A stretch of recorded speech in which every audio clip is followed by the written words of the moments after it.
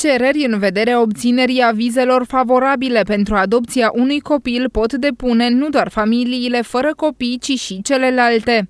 Cereri în acest an avem uh, un număr de 16 uh, familii sau persoane. Uh, pentru, conform procedurii, aceste cereri au fost evaluate și au fost eliberate în acest an un număr de 13 atestate. Mai mult, acolo unde legislația permite, se deschide proces în instanță pentru obținerea documentației necesare în vederea derulării procedurilor de adopție. Și în acest an avem uh, un număr de 16 copii pentru care instanța s-a pronunțat în acest sens. Pe rolul instanței sunt încă 25 de copii pentru care uh, se urmărește ca finalitate adopția.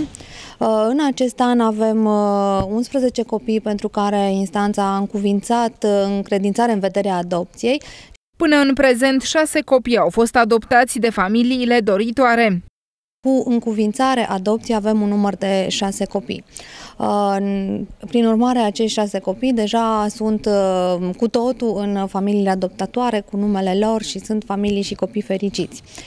Comparativ cu aceeași perioadă anului trecut, cifrele care arată numărul familiilor ce doresc să devină adoptatoare sunt ceva mai mici. Un număr de 23 de copii uh, încuvințați uh, în adopție. Pe parcursul anului au fost 19 copii pentru care s-a um, făcut uh, încredințare în vederea adopției.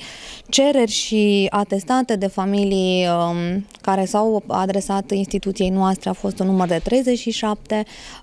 Avem foarte multe familii interesate să adopte copii, în general familii care nu au proprii copii, dar sunt și familii care au proprii copii și își doresc uh, să fie familie și pentru alt copil, chiar dacă nu biologic. Peste câteva zile, mai exact în 2 iunie, se va marca Ziua Națională a Adopției.